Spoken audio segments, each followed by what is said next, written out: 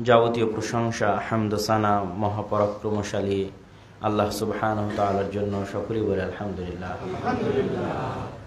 দরুদ সালাম বর্ষিত হোক পৃথিবীর সর্বশেষ এবং সর্বশ্রেষ্ঠ রাসুল আহমদ মোহাম্মদ মুস্তফা ওসাল্লাম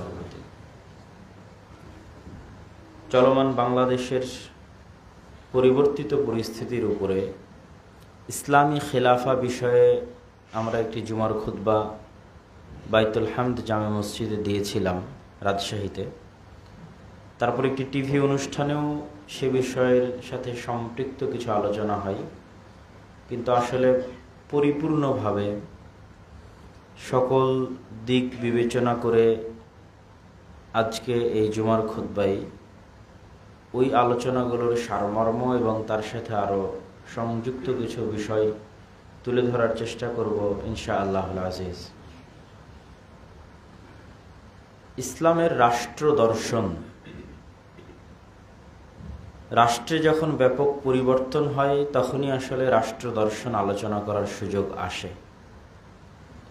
আর যখন রাষ্ট্র একটি স্থিতিশীল অবস্থার মধ্যে থাকে, তখন আসলে সেখানে এটি আলোচনা করা উলুবনে মুক্ত ছড়ানোর মতো। কিন্তু যেহেতু রাষ্ট্র একটি পরিবর্তিত পরিস্থিতির মধ্যে দিয়ে যাচ্ছে, সেহেতু মানুষের জানা উচিত যে ইসলামের রাষ্ট্রীয় দর্শন কি? ইসলাম রাষ্ট্র কীভাবে পরিচালিত হতে দেখতে চায়? আমরা যে আয়াতটি পাঠ করেছি, আল্লাহ সুবহান আয়াতে বলেছেন ইন্দাল্লাহ ইসলাম। আল্লাহ সুবহান তালার নিকটে একমাত্র মনোনীত দিন বা জীবন বিধান বা শরিয়াহ হচ্ছে ইসলাম। দিন বলি শরিয়াত বলি এটি মূলত কমপ্লিট কোড অফ লাইফকে বোঝায়। মানুষের জীবনের পরিপূর্ণ রূপের যে নির্দেশনা, সেই নির্দেশনা ইসলামে আছে। ব্যক্তিগত, পারিবারিক, সামাজিক, রাষ্ট্রীয়, অর্থনৈতিক সকল দিকের সমাধান ইসলামে আছে। আল্লাহ সুবহান আরও বলেছেন ইসলামী দিনা যারা ইসলাম ব্যতীত আর অন্য কোনো কিছুতে সমাধান খুঁজবে তার ব্যক্তি জীবনের, পারিবারিক জীবনের, সামাজিক জীবনের, রাষ্ট্রীয় জীবনের, তাদের পক্ষ থেকে এটি গ্রহণ করা হবে না এবং তারা পরকালে ক্ষতিগ্রস্তদের অন্তর্ভুক্ত হবে।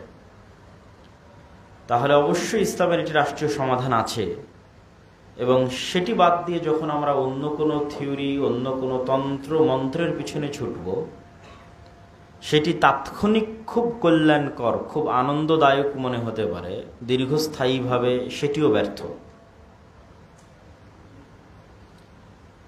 যেমন আমরা রক্তাক্ত জুলাই বা পাঁচই আগস্টের গণ অভ্যুত্থান এবং স্বৈরাচারের পতন, এটিকে অনেকেই বলছে বিপ্লব। কিন্তু আসলে এটি বিপ্লব নয়। এটি শুধুমাত্র সরকারের পরিবর্তন এবং সরকারের পতন,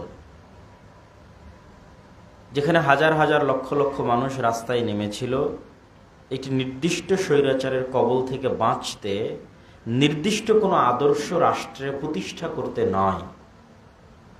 বিপ্লব তখনই হয় যখন সবাই এক নির্দিষ্ট আদর্শে বিশ্বাসী এবং সেই নির্দিষ্ট আদর্শকে তারা প্রতিষ্ঠা করছে এবং সেটির লক্ষ্যে তারা ব্যাপকভাবে সফল, তখন সেটিকে বিপ্লব বলা যায়।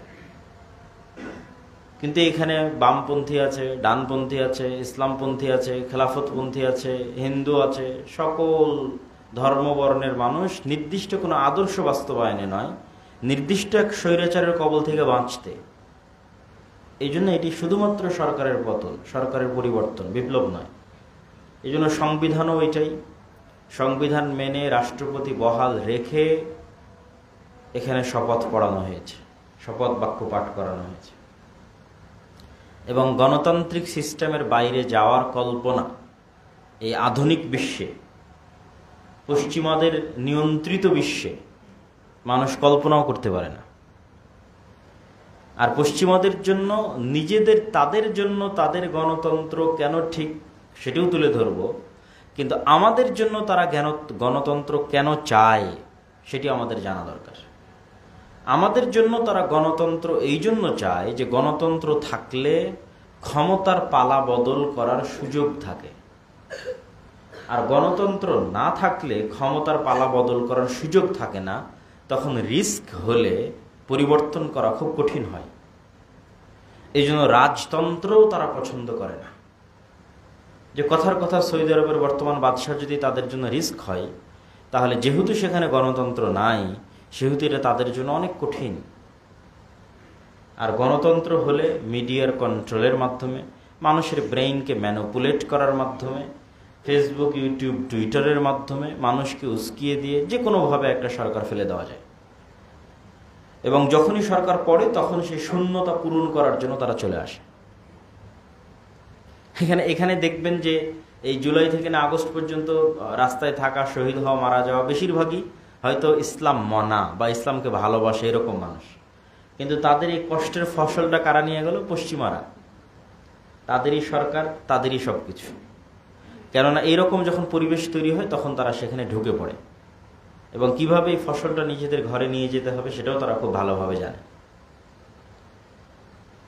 তো আমরা যেটা আলোচনা করছিলাম, যে গণতন্ত্র ইসলাম প্রতিষ্ঠায় কেন ব্যর্থ?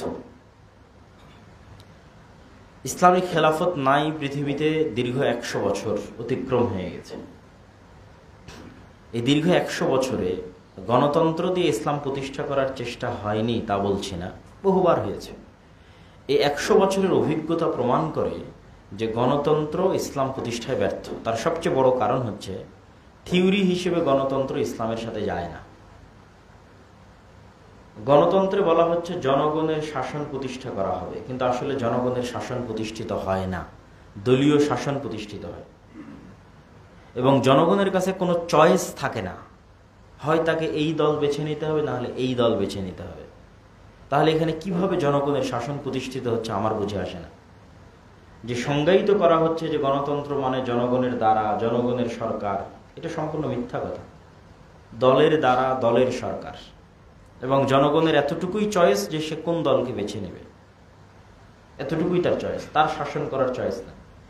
যদি সত্যিই জনগণের শাসন হতো, তাহলে এটা উপর থেকে নয়, নিচ থেকে আসতো। একটা গ্রামের জনগণ একসাথে বসে সিদ্ধান্ত নিত যে আমাদের গ্রামের ইনি দায়িত্বশীল। সকল গ্রামের যে দায়িত্বশীল নির্ধারিত হবে, তারা মিলে সিদ্ধান্ত নিত তার উপজেলার অমুক দায়িত্বশীল। উপজেলার দায়িত্বশীলেরা মিলে বসে সিদ্ধান্ত নিত তার জেলার অমুক দায়িত্বশীল।